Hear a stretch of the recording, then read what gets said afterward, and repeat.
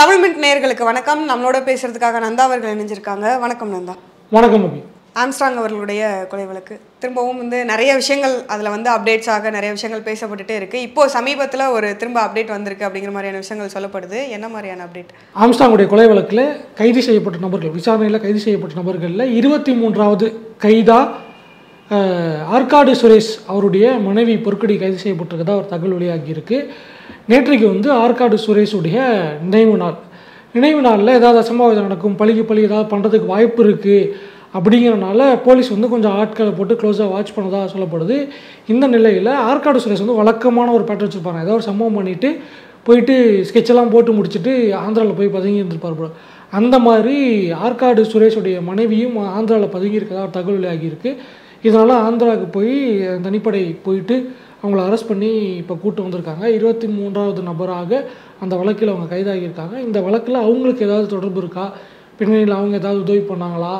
பணம் உதவி பொருள் உதவி இந்த மாதிரி ஏதாவது பண்ணாங்களா? இல்லை ஸ்கெட்ச் போட்டதில் ஏதாவது இன்ஃப்ளூயன்ஸ் பண்ணாங்களா? அப்படிங்கிறத வந்து விசாரிச்சுக்கிட்டு இருக்கதா சொல்கிறாங்க ஏற்கனவே வந்து அஸ்வத்தாம நாகேந்திரன் தான் கொண்டாங்க அப்படின்னு சொல்கிறாங்க இந்த பக்கம் ஆற்காடு சுரேஷ் ஸோ இந்த ப ஒரு சினிமா திரைக்கதை மாதிரி வந்து ஏகப்பட்ட ட்விஸ்ட் அண்ட் டர்ன்ஸோட போய்கிட்டு இருக்குது இதில் இப்போ வந்து இது இன்னொரு ஒரு எதிர்பார்க்காத ஒரு ட்விஸ்ட்டாக இருக்குது அடுத்து இதுக்கு என்ன ஒரு கதை சொல்லுவாங்க அப்படின்னு தெரியல.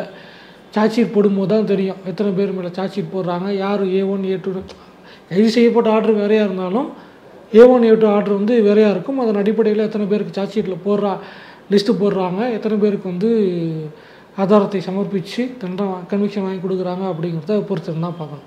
இல்லை இப்போ இது வரைக்கும் அப்போ வந்து அஸ்வதாமன் நாகேந்திரன் நீங்கள் சொன்ன மாதிரி அந்த கோணத்தில் தான் போயிட்டு இருந்தது இப்போ திடீர்னு இவங்களை அரெஸ்ட் பண்ணுறதுக்கான காரணம் என்ன? அப்போது வந்து இவங்க தான் இது பண்ணியிருக்காங்களா இல்லையா அப்படிங்கிறதே இனிமேல் தான் விசாரிப்பாங்க அப்படிங்கிறதுல இவங்களை எந்த விதத்தில் அப்போ அரெஸ்ட் பண்ணாங்க?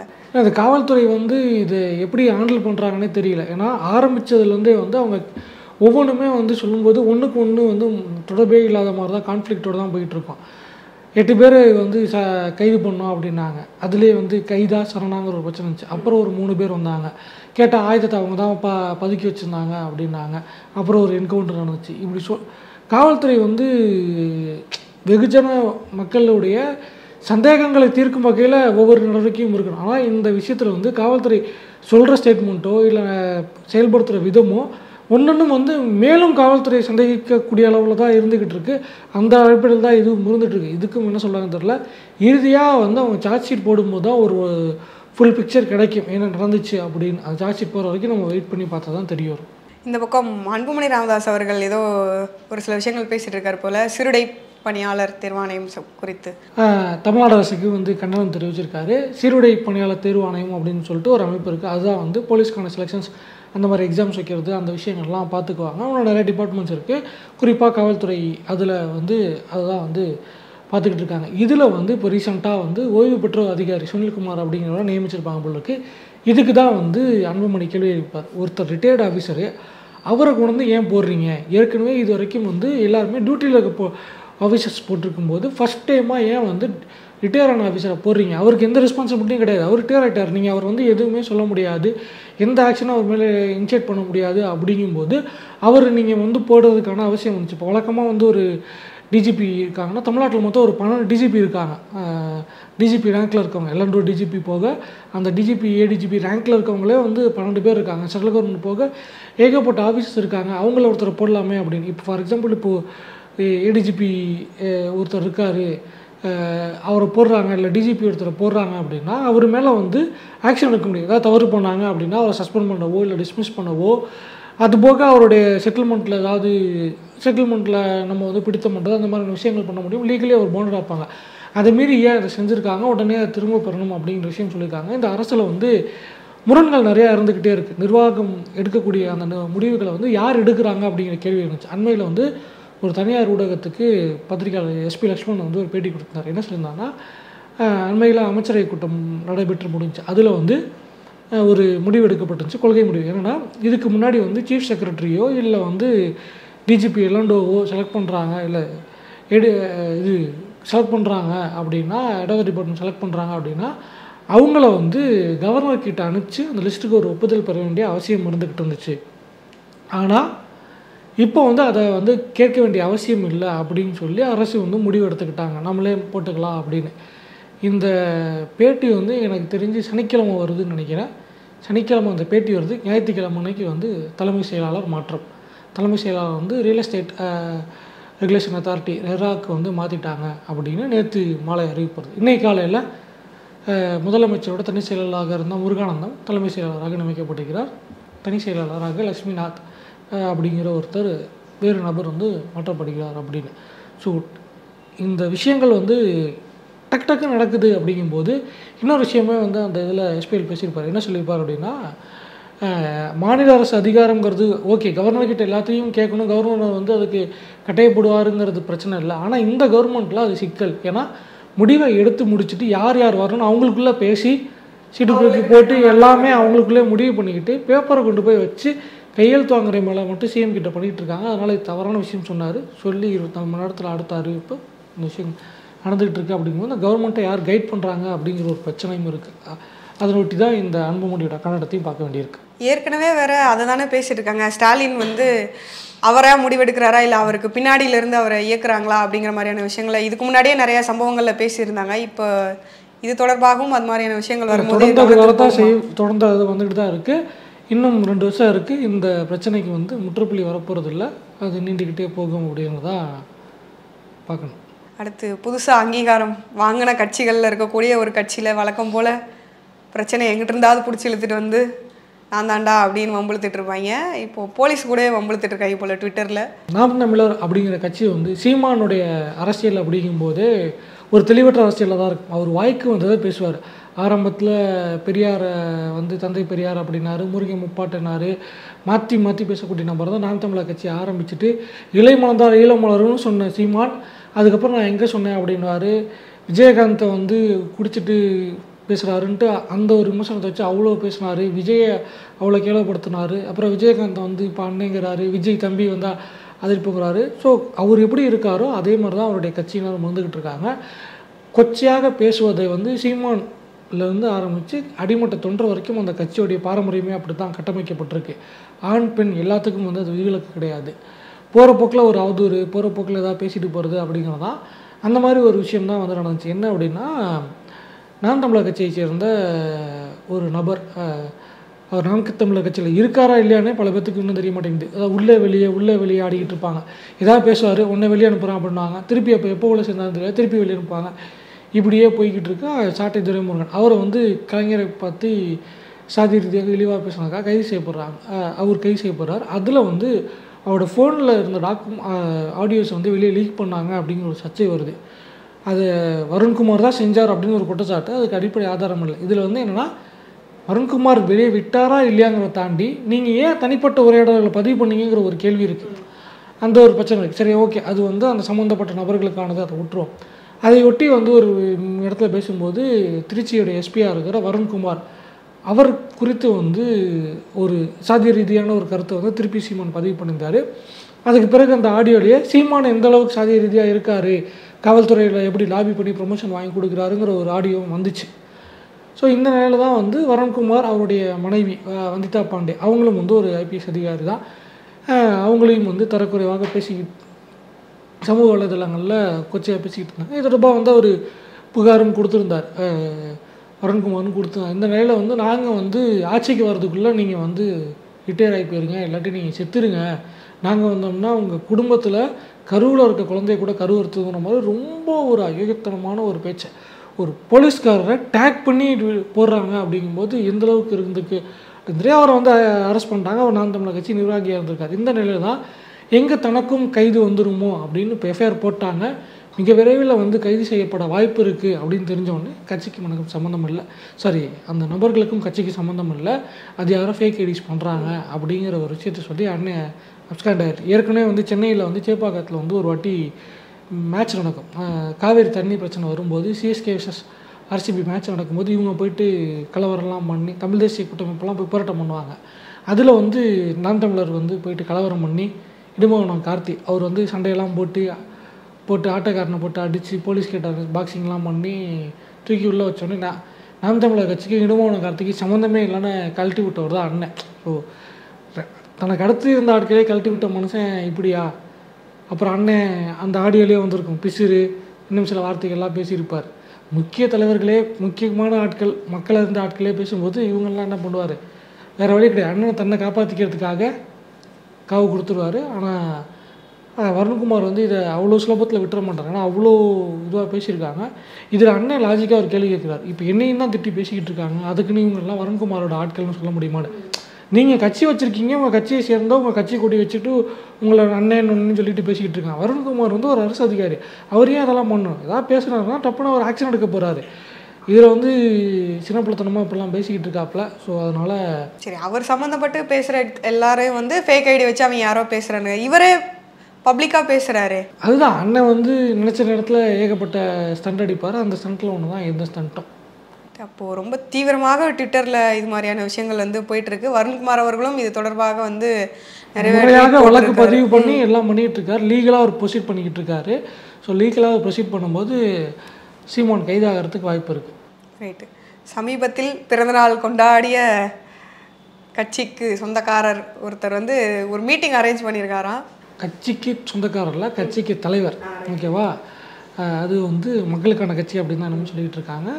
ஆகஸ்ட் பதினேழாம் தேதி பிறந்தநாள் கொண்டாடிய திரு தொல் திருமாவளவன். அவருடைய பிறந்தநாள் பரிசளிப்பு கூட்டம் வந்து விழுப்புரம் பக்கத்தில் முரட்டாண்டி அப்படிங்கிற இடத்துல நடந்துச்சு அங்கே தான் ஒரு ஸ்டேட்மெண்ட் சொல்லியிருக்காரு என்ன அப்படின்னா அக்டோபர் ரெண்டாம் தேதி போதை ஒழிப்பு மகளிர் மாநாடு. முழுக்க முழுக்க மகளிர் பங்கேற்கும் ஒரு மாநாடை நாங்கள் நடத்த போகிறோம் அப்படிங்கிற விஷயத்த சொல்லியிருக்காங்க. இதில் என்ன பிரச்ச முக்கியமான விஷயம் பார்க்க வேண்டியிருக்கு அப்படின்னா ஏற்கனவே வந்து சாதி ஒழிப்பு மாநாடு நடத்தியிருக்காங்க சனாதன ஒழிப்பு மாநாடு நடத்திருக்காங்க மனதர்ம ஒழிப்பு அப்படின்னு சொல்லி ஏகப்பட்ட மாநாடுகள் நடத்திக்கிட்டு இருந்தாங்க. பட் இப்போ வந்து அவங்களுக்கு என்ன சிக்கலாகி போச்சு அப்படின்னா இரண்டு பக்கத்துலேருந்தும் தாக்குதல் வருது. ஒன்று வந்து இப்போ வந்து அந்த உச்சநீதிமன்ற தீர்ப்புக்கு எதிராக பேசிட்டாங்க அப்படின்ன உடனே அதுக்காக வந்து ஆதித்தமிழர் பேரவை வந்து சனாதனத்தின் தொங்கு சதைகள் அப்படிங்கிற வார்த்தையை பயன்படுத்தி திரும்ப விமர்சனம் பண்ணுறாங்க அந்த பக்கம் ஒரு தாக்குதல் வந்துக்கிட்டு இருக்கு. இன்னொரு பக்கம் ஆம்ஸ்டாங் மறைவுக்காக அஹ், போயிட்டு இருப்போம் இங்கே ஒருத்தர் இறந்து போயிருக்காரு. நீங்கள் பிறந்தநாள் கொண்டாடிட்டு இருக்கீங்களே அப்படின்னு சொல்லி சொல்கிறாங்க ஒன்றரை மாதம் ஆயிடுச்சு. போலீஸ் ஆக்ஷன் எடுத்துருச்சு. பிறந்தநாள் கொண்டாடுனது ஒரு தப்பா? அந்த அண்ணன் அண்ணன் நான் கேட்குறேன்ட்டு ஒரு குரூப் சுற்றி இருந்துச்சு. அது படத்தை ரிலீஸ் பண்ணிட்டு கல்லா கட்டிட்டு அதுக்கப்புறம் போயாச்சு. அங்கெல்லாம் போய் கேள்வி கேட்கல. இங்கே வந்து நியாயமாக போராடி ஆம்சாங் மறைவுக்காக குரல் கொடுத்த திரும்ப மேலே ஒரு பிரச்சனை. இதில் வந்து இப்போ இந்த மாநாட்டில் என்ன சிக்கல் அப்படின்னா போதை ஒழிப்பு அப்படிங்கும்போது அவர் வந்து எல்லா விதமான போதையும் சேர்க்கிறார். மதுவையும் சேர்த்து தான் ஒழிக்கணும் அப்படின்னு பூரண மது விளக்குங்கிறாரு டாஸ்மாகை நடத்திக்கிட்டு இருக்க டாஸ்மாகை வாழ வைத்து கொண்டிருக்க திராவிட கட்சிகள் இதை ஏற்பாங்களா? திமுக ஆட்சியில் இருக்குது பாட்டிலுக்கு பத்து ரூபா எக்ஸ்ட்ரா டயத்தில் வைக்கும்போது வந்து டேரெக்டாக ஃபேக்ட்ரிலேருந்து சரக்கு வருது அப்படின்னு நான் சொல்லலை. பிடிஆர் வந்து சட்டசபையில் சொன்னார். பிளாக் மார்க்கெட்டில் சரக்கு ஓடுது அப்படின்னு. இதையெல்லாம் வச்சு நடத்திக்கிட்டு இருக்கவங்க விடுவாங்களா? ஏற்கனவே காவல்துறை வந்து இந்த மாநாடு நீங்கள் நடத்தக்கூடாது தேவையில்லாத பிரச்சனை வரும் அப்படின்னு அறிவுரை சொன்னா. மிரட்டிய மறைமுகமாக வந்து டீசெண்டாக சொல்லணும்னா அது மிரட்டல். அதை வந்து திரும்பவே வந்து ஒரு நேர்காணலில் பதிவு பண்ணியிருந்தாரு. இப்போ அதை அதையும் மீறி வந்து இப்போ நடத்துகிறாரு அப்படிங்கும்போது திரும்ப கட்சியை மீறி திமுகவை மீறி இந்த இதை எப்படி நடத்துவார் அப்படிங்கிற விஷயம் தெரியல. பார்ப்போம் என்ன நடக்க போகுது அப்படின்ட்டுன்னு. பட் அவங்க வந்து மக்களுக்கான குரலாக நிறைய மாநாடுகள் போட்டிருக்காங்க. அதன் தொடர்ச்சியாக இதை இது பண்ணும்போது இதை வரவேற்க தகுந்த வேண்டிய ஒரு விஷயம்தான். அதை அரசு எப்படி கையாளுது அப்படிங்கிறதும் மாநாடு எப்படி நடத்துறதுக்கு இவங்க அனுமதி கொடுக்குறாங்க? எப்படி அந்த மாநாடு நடத்தப்படுது அப்படிங்கிறத பார்க்க வேண்டியிருக்கு. ஆனா ஏற்கனவே திமுக கூட்டணி வந்து உடையுது. எல்லாரும் பிச்சுக்கிட்டு போயிடுவாங்க இருபத்தாறுல வந்து வேற வேற மாதிரிலாம் போயிடும்ல மாதிரியான பேச்செல்லாம் இருக்கே. ஒவ்வொரு தேர்தலுக்கும் சொல்ல போகிறது தான். திமுக வந்து பாஜகவை பாஜக கூட்டணிக்கு போகாத வரை திமுக கூட்டணியில் எந்த பிரச்சனையும் கிடையாது. ஏன்னா இப்போ திமுக பாஜக உறவு இணக்கமாக இருந்துக்கிட்டு இருக்கு அப்படின்னு நேற்றுலேருந்து பேசிக்கிட்டு இருக்காங்க. அதுக்கு வேறு வேறு காரணங்கள் இருக்குது ஸோ அதன் வகையில் பார்க்கும்போது அது நடக்கலை அப்படின்னா இந்த கூட்டணி வந்து இன்டாக்டாக தான் இருக்க போது அது ரெண்டாயிரத்தி இருபத்தி ஆறுலேயும் இந்த கூட்டணி வெற்றி பெறுவதற்கான சாத்தியக்கூறுகள் நிறைய இருக்குது ரைட்டு இவர் மாநாடை விடுங்க. ரொம்ப நாளா ஒருத்தர் வந்து மாநாட்டுக்கு இடம் பார்த்துக்கிட்டு சுத்திக்கிட்டு இருக்காப்ல.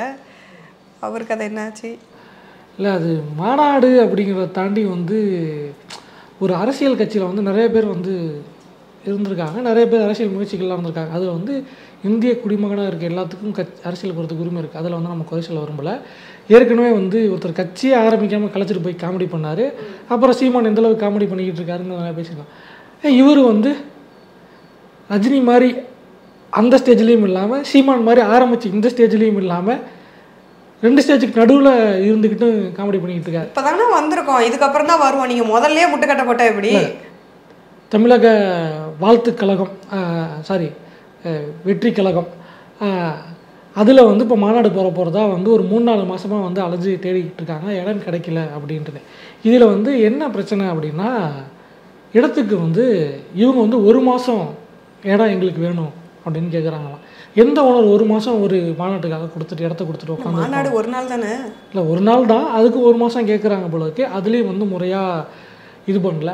இன்னொன்று வந்து என்ன அப்படின்னா இவங்க கேட்கக்கூடிய விதமே வந்து ப்ராப்பர் த்ரூ ப்ராப்பர் சேனல் எதுவும் கேட்க மாட்றாங்க அப்படின்ட்டு இன்னொன்று என்ன சொன்னாங்கன்னா எங்கேயாவது நாங்கள் போய் இடம் கேட்குறோம். நாங்கள் வந்து இடம் கேட்கும்போது வந்து அம்- திமுக வந்து அழுத்தம் கொடுக்குது. எங்களை காரணம் பண்ணுறாங்க அப்படிங்கிற மாதிரியான சில காமெடி ஸ்டேட்மெண்ட்ஸ்லாம் வந்து கொடுக்கப்பட்டு இருந்துச்சு ஏன் இந்த காமெடி ஸ்டேட்மெண்ட்ஸ் வந்து நான் சொல்கிறேன் அப்படின்னா இப்போ ஒரு அரசியல் கட்சி மாநாடு போடுது அப்படின்னா அவன் அந்த மாநாட்டுக்கு ஒரு நோக்கம் இருக்கணும். அந்த மாநாட்டுக்கான விஷயங்கள் இருக்கணும். திட்டமிடல் அப்படிங்கிறது தான் நடக்கும். நீங்கள் அதுக்கேற்ற மாதிரி நடத்துறீங்க அப்படின்னா. இப்போ முதல்ல நீங்கள் நடத்த போகிறது வந்து அரசியல் மாநாடு கிடையாது. ரசிகர் மன்ற மாநாடு தான். ஏன்னா உங்களுக்குன்னு வந்து எந்த அரசியல் கருத்தும் நீங்கள் சொல்லலைங்கும் போது எத்தனை அடிப்படையில் வரவங்களை கட்சி தொண்டர்கள்னு சொல்ல முடியும்?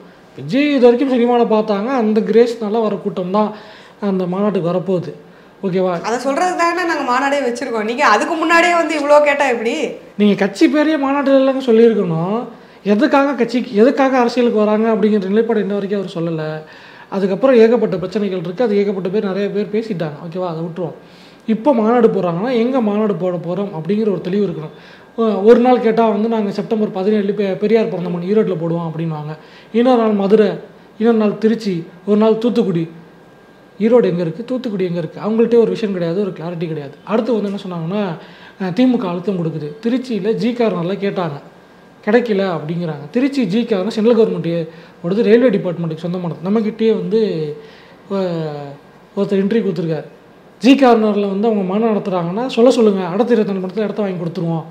ஃபார்ம் ஃபில்அப் பண்ணி கொடுத்து காசை கட்டினாங்கன்னா கொடுத்துருவாங்க அப்படின்னு. நம்மக்கிட்ட நம்ம கிட்ட இன்டர்வியூ கேட்குறவங்களே வந்து வாங்கி தரேன்றாங்கன்னா அப்போ அவர் கேட்டால் கொடுத்துருப்பாங்கல்ல கண்டிப்பாக இதில் தான் சிக்கல். என்ன அப்படின்னா ஃபார்ம் ஃபில்அப் பண்ணி அமௌண்ட்டை டெபாசிட் பண்ணிட்டா யாருக்கு வேணால் கொடுத்துருவாங்க. இப்போ கொஞ்ச நேரத்துக்கு முன்னாடி பேசிகிட்டு இருந்தோம்ல விசிகா மாநாடு அதில் வந்து சாதி ஒழிப்பு மாநாடு அப்படின்னு நினைக்கிறேன். இல்லை சனாதன ஒழிப்பு மாநாடு. ஏதோ ஒரு மாநாடை வந்து திருச்சி அதே நடத்தினாங்க. நல்ல நல்லா இப்போ ரெண்டாயிரத்தி பத்தொம்போது நடத்தியிருந்தாங்க. கூட்டம் நல்லா இருந்துச்சு. சிறப்பாக இருந்துச்சு. இப்போ கூட வந்து ஒரு மாநாடு நடத்தியிருந்தாங்க. அந்த டாப் அங்கே சாட்லாம் கூட போட்டு பார்த்தா மக்கள் வெள்ளம் வந்து இருந்துக்கிட்டு அந்த பார்க்க முடியுது. திருச்சியில் திமுக மாநாடு போட்டிருக்கு. ஸோ மாநாடு நடத்துறதுங்கிறது வந்து ஒரு விஷயம் கிடையாது. இப்போ நம்ம கட்சிக்கு தொண்டரே இல்லாத ஐயா வாசன ஐயா எத்தனை பேர் இருக்காங்கன்னு தெரியும் அவரு மாநாடு போட்டார். அவரும் திருச்சியில் தான் போட்டார். அவரும் திருச்சியில் தான் மாநாடு போட்டார்.